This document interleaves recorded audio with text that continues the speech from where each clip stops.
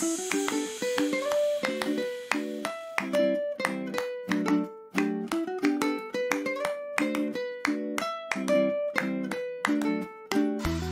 hello and welcome to Super Great Kids Stories, wise tales from around the world which will make you laugh and sometimes cry. Recommended from ages 5 to 105. I'm Kim and I love stories. Hello, and how are you doing? I hope you've had a good week. The quest tale that we're going to hear today Nora and the ackee fruit is from Jamaica, which is a beautiful island country in the Caribbean Sea. Delicious fruits grow there, and in this story, two sisters go on a quest to pick some ackee fruit. Will they succeed? What do you think? Have you ever picked fruit like apples or strawberries or lemons? See if you can think of a list of fruits which you'd most like to pick while we have a quick word with the adults. Hello, super great kids, it's me again. So, I wonder how long your list of fruits was. Here's an interesting fact for you about the ackee fruit. It can only be picked after it's burst open, a little bit like a conker coming out of its green prickly case. Otherwise, it may well be poisonous. So, you have to be patient and wait until the red and yellow pear shaped fruit has split open and its seeds are showing, and then you can pick them to eat. This story is good for joining in, and there's a song you can sing, and there's also a magic river. So you can wag your finger and be like the river telling off one of the sisters. So, have you got your finger ready to wag when the song starts? Ready? Here's Kate Corkery. Mouth open. Story. Jump. Out. This story comes from Jamaica, where the sun shines bright and sometimes the rains fall hard, and where many delicious fruits grow. And this story was told to me by my friend Winston, Winston Nzinga, who grew up in Jamaica in those beautiful blue mountains. In a little house up on a lonely hillside of the Blue Mountains, there lived a poor woman with her two daughters. These girls were as different as chalk and cheese. One was very kind, and the other was very mean. One would often smile, while the other preferred to pout and scowl. One day, the mother came back from the market with a, a nice piece of salt fish. She called to her daughters, Girls, get your baskets and go down to the other side of the valley where the ackee trees grow and pick me some nice, ripe ackees. You know, an ackee is a type of very nutritious fruit it grows in West Africa and lots of Caribbean countries. And although it's a fruit, it must be cooked before eating it. It's not too sweet, not too salty, not too fruity, but it goes really well with tasty codfish. Mmm. The girls loved it. It was their favourite meal. But Nora, the mean sister, was not very keen to trudge off down the hill on such a hot day. I don't think the ackees are ripe yet, Mamma. And when they're not ripe, they are poisonous and will make us sick. Nonsense, said the mother. I've seen them myself this morning. Their skin is orangey red, and their lovely yellowy flesh and black shiny seeds are bursting out, ripe and ready to be picked. Don't waste any more time. Off you go and fill up your baskets so I can cook us a lovely supper. Angel, the kind sister, didn't complain. She just grabbed her basket and off she skipped. Nora was a bit grumpy, but she followed on. In the valley, at the foot of the hill, the girls came to a dry riverbed. They would have to cross here to get over to where the ackee trees grew on the other side. This was no ordinary riverbed. It was a magical place. Sometimes there was water, sometimes there was none. the wise riverbed knew who was mean and who was kind. If you were kind, it would allow you to cross over and back as many times as you liked. If you were mean, you could only go one way. Angel crossed first, and Nora crossed second. Then both girls walked to the ackee trees and started picking the ripe fruit. They picked and picked and picked all day until their baskets were full to the brim. Then they put their baskets on their heads and turned to go home. As soon as Angel stepped into the dry riverbed, she heard a voice singing. If you no give me one ackee, you no pass here. If you no give me one ackee, you no pass here. If you no give me one ackee, you no pass here. Dry river, I go come down, wash away. Ah, as soon as the kind sister heard those words, she reached up into her basket, took out a nice ripe ackee, and placed it on the river bed. Then she crossed safely to the other side. Next, Nora arrived. As soon as she stepped onto the riverbed, the voice was heard again. If you no give me one ackee, you no pass here. If you no give me one ackee, you no pass here. If you no give me one ackee, you no pass here. Dry river, I go come down, wash away. Nora stood there with her mean face and said, I'm not giving the river one of my ackees.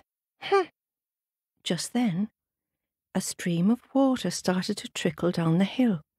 It flowed over the dry riverbed and soon it covered Nora's feet. She stood there, ankle deep in water, and the river sang again. If you no give me one ackee, you no pass here. If you no give me one ackee, you no pass here. If you no give me one ackee, you no pass here. Dry river, I go come down, wash away. Nora stayed put, with her basket on her head, and her arms folded, and with a mean face she said, I'm not giving the river one of my ackees. the water began to rise. Soon it rose as high as Nora's knees. Was Nora frightened? No. She stood there, knee deep in water, arms folded. She did not budge. Wonder if you can make a mean face and say what Nora said. You ready? I'm not giving the river one of my ackees. The river sang its song again. Maybe you can sing along. You might know it by now.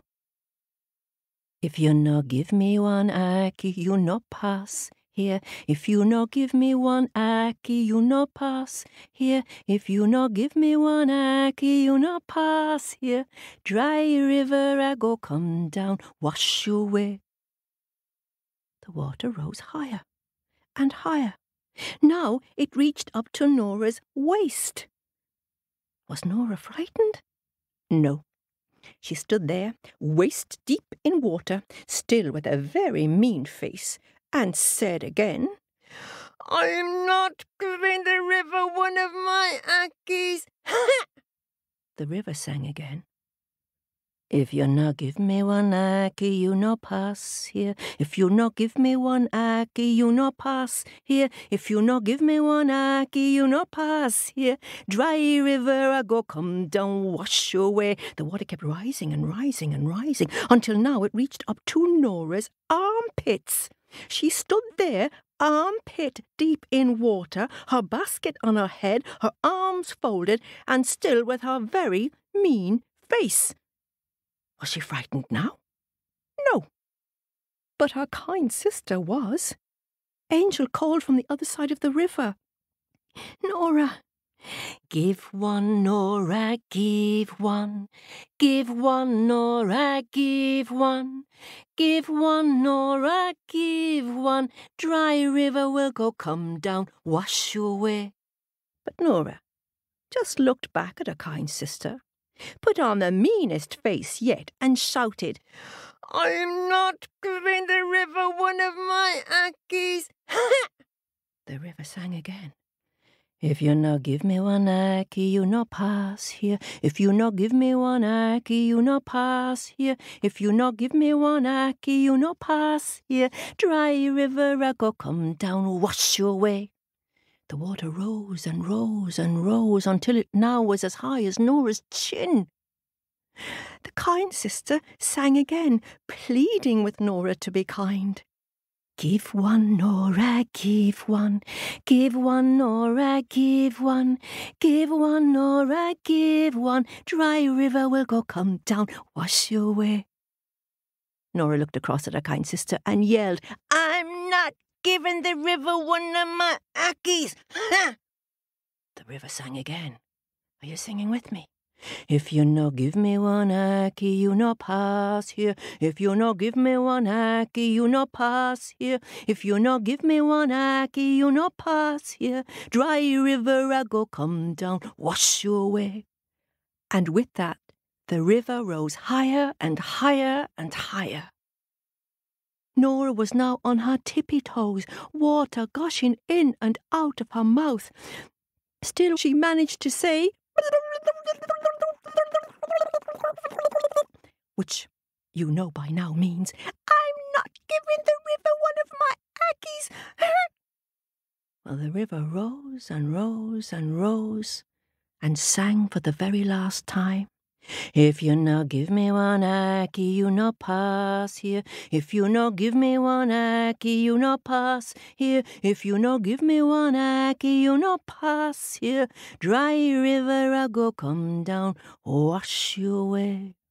With that, a big current of water came and swept Nora away. Oh my goodness, I heard you say. What happened to Nora? Let me tell you, Nora did not drown. She was actually a very good swimmer. But what happened to her basket of ackees? Well, they all got tipped over into the water, of course, and got washed away downstream. And what happened then, do you think? Well, straight away the water went back to its normal level for that time of year. In fact, it dried up altogether. The magical river was not mean. How many ackees did it ask for? Just one. How many do you think might have been in Nora's basket? Lots and lots. The river got more than it asked for, and it was more than satisfied. Hmm. Nora wound up with nothing to bring home that day, apart from a song she would never forget, and a lesson she would always remember. It is always better to be kind even a little kindness can go a long way. Snip, snap, pout. That story is out. Ha! Thanks to Kate Corkery for that. Are you any good at pouting? Go on, give me a good pout. Push your lips out. Yeah, put your hands on your hips and pout. Very good. And now smile. Ah, oh, that's better. I wonder, would you have smiled at the river and shared one of your fruits? Or would you have pouted like Nora? And now it's time da, da, da, da, da, to take a dip into my bag of happies and thank you for the beautiful pictures and everything you're so generously giving us. Thanks to six year old Ray for your picture of the monkey, which was inspired by how the stars became. It's a really atmospheric and beautiful picture, Ray. You've got great imagination. Keep doing that drawing. And thanks to Owen, who is six from Pacifica in California, for an enchanting picture of an enormous Tiddalick the frog looming over an electric eel. And big thanks to sisters Abigail and Mia in Arkansas for your pictures of how the rainbow got into the sky. Thanks, Abigail, for your sunshine. And thanks, Mia, for your picture, which made me feel hot just looking at it, with the scorching sun and the brown, dusty air. Thank goodness for the rainbow which brought the rain. And Charlie in Perth, who is seven, sent us a marvellous jaunty portrait of the leprechaun from the story Molly and the Leprechaun.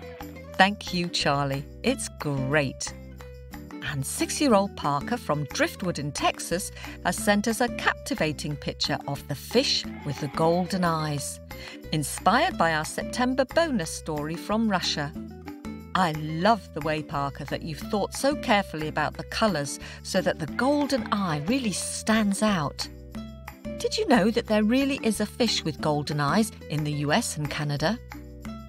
And Sam, who is seven, from Manhattan in Kansas, has sent in a lovely drawing inspired by the parrot's advice.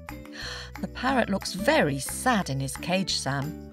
Thank you for sharing that. I lived in Kansas as an exchange student and I got to know people from all over the world while I was there. So, hurrah for kind people in Kansas who introduced me to different cultures. And Rose, who is five in Denver, sent an enchanting picture of the magic orange tree. I love the way the tree looks magical with all the stars around it, Rose. And I love the fact that you've signed your name with a picture of a rose. Marvellous. More thanks coming next week. You can enjoy all these pictures on our Facebook page, www.facebook.com forward slash super great kids stories. And a big thank you to all our subscribers and sponsors. You make my heart sing. Thanks to Michael, Mariah, and Justin in Rotorua, and to Rich, and to twins Adelie and Eric in Arlington, and to Adeline, Ellie, and Bronwyn. If you'd like to subscribe to our podcast on Apple, click subscribe in Apple Podcasts. Or to support us with Patreon, go to our website on supergreatkidsstories.com and click on the Patreon button. To give a one off donation of any amount, click on the Ko-fi button on our website. And remember to send us your super great pictures for our drawing competition. We have 10 Super Great Kids Stories colouring books to give away to 10 lucky super great kids who send in their pictures before December the 13th. And if you want to see what our colouring books look like, then go to Amazon and search for Super Great Kids Stories colouring book or go to our website supergreatkidsstories.com and follow the links. And any of you interested in Super Great Kids t shirts, you can find them in our shop on our website. That's it for this week. Next week, we start a new theme of fairy tales from around the world. They may be fairy tales that you're familiar with, but how quickly will you recognise them?